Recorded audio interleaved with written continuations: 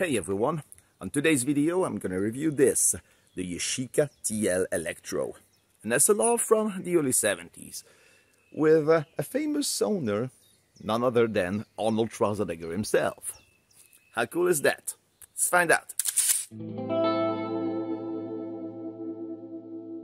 If you know a little about cameras, Yashica was never regarded as a professional camera brand, even though they had a comprehensive lineup from compacts, rangefinder, TLRs, and also SLRs. They were regarded as amateur cameras, but high quality, especially if you look at the price and compare them to what Minolta or Pentax was offering at the time.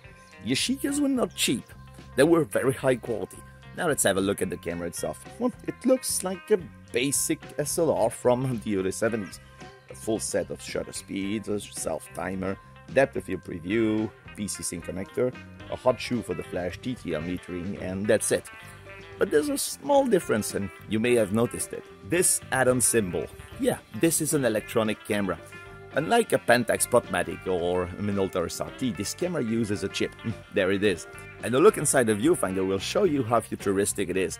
You see these green tuning forks-like shapes on the side? They show you over under exposure and correct exposure.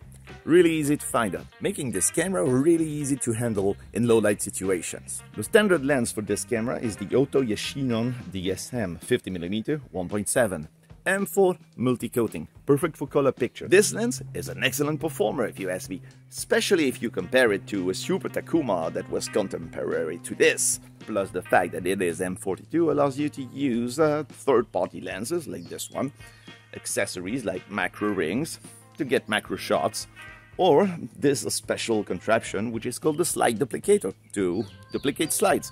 There you are. But you don't have to believe me, after all, there's a medieval fair in town, so we're gonna go there and try this out.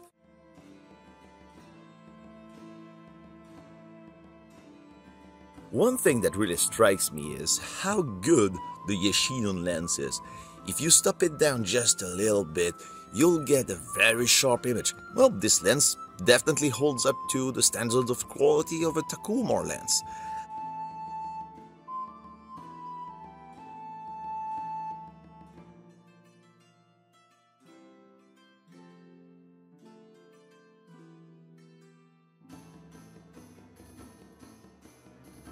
Plus, you have to know that the exposure parameters are the ones that were suggested by the light meter. The camera works fine even in high contrast situations like these. Even though I used an expired film with this camera and the results are outstanding, this is really an excellent camera. There's a caveat for that. It's the batteries. This is the PX640 that was originally used for that camera and it's not available. You can find replacements online, they're hard to come by, or you can just get yourself an adapter and use a commonly used LR44.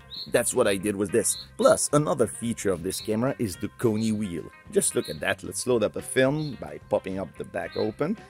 There you go. See that the Koni wheel, it doesn't turn, only the inside is turning. Just insert the tip of the film onto one of these slots and there you go the camera is loaded fire the shutter a few times until the counter reached number one. There you go. Believe me, lots of vintage cameras are not so easy to load as this one. That's a winner. Oh, my final thoughts on this camera? Well, this is a real banger. You know, if I had a camera like this when I started film photography, I would have been a happy camper.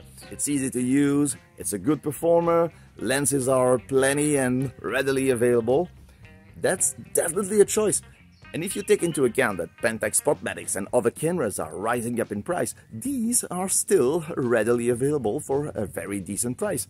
So that's definitely a camera you should consider if you're looking for a film camera in 2023. And as always, thank you for watching. I hope to see you next time. Leave a like, comment down below and subscribe. See you next time. Goodbye.